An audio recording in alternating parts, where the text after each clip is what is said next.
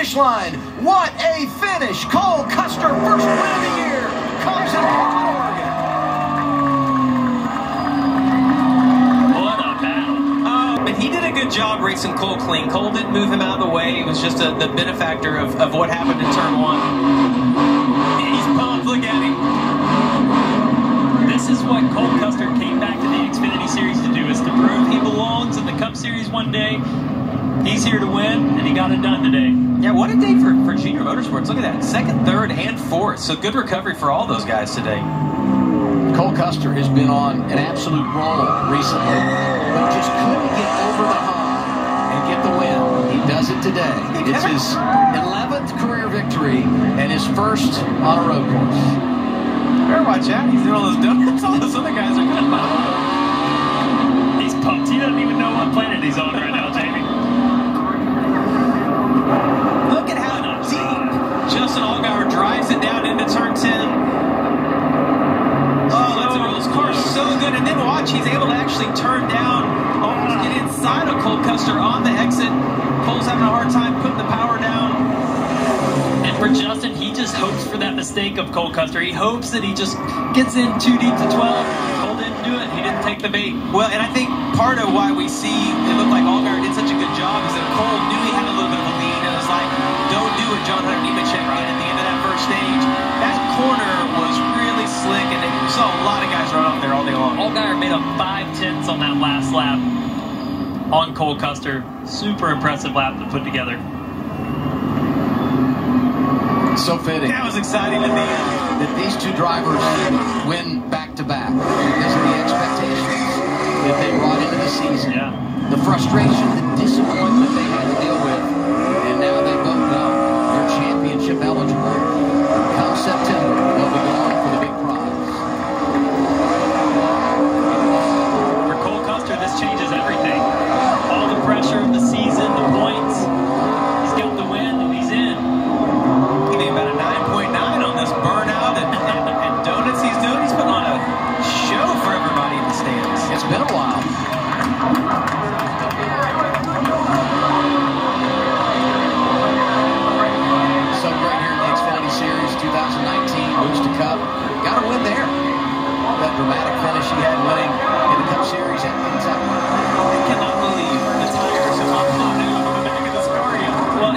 Enough not to park it against the wall and catch it on fire like Yeah. we've been seeing lately.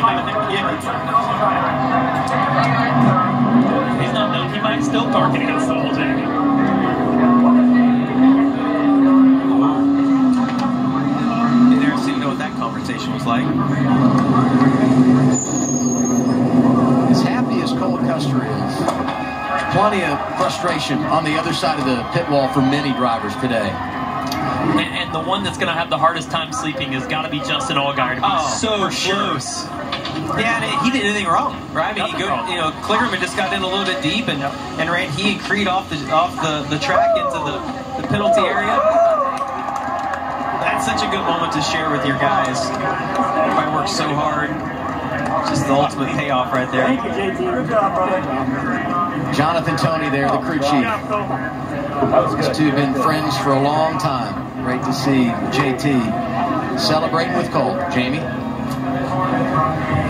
And as Cole Custer still tries to get his helmet off, his crew guys walk away with a lot of emotion on their faces after watching this win. The crowd still on their feet after those burnouts.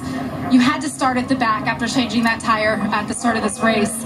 Able to drive through the field. You only led four laps, but what did you see that gave you the confidence to go for it on that restart? Uh, I mean, just try not make mistakes. I mean, I did the same exact thing. I mean, I drove, I saw him drive in there so deep, and I did the same thing like two restarts ago. And man, I'm just so happy. I've never won a road course race before. I've been so close so many times, and it's just awesome to win this. I can't thank Haas Automation, everybody at Stewart-Haas the Xfinity program and the Cup program. Uh, it's just chief. It's it's awesome to get this trophy, get that out of the way. So uh, I'm pumped for the rest of the year. We got fast cars. We're starting to put them on again. Now we've got two more road courses in a row. Congratulations.